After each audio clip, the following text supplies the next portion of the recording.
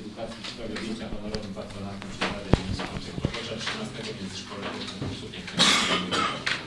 Paragraf pierwszy.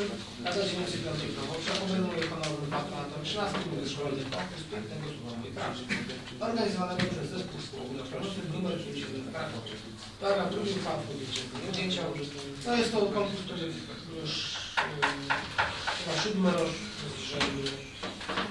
ale nie musimy nie od samego początku być patronem. Ale wiem, że co rok rocznie jest patronem, także Poprzednią kadencję, ale Całe. Także zawsze ich wspieramy i patronatem wykonujemy. Tak, tym razem nie. jak to wygląda? Co roku można taki patron Trudno ci oczywiście oczywiście nie absolutnie. Zachęcam do, do głosowania za. Kto z Państwa jest za przyjęciem tego projektu? Ja proponuję zmienić przecinek na końcu.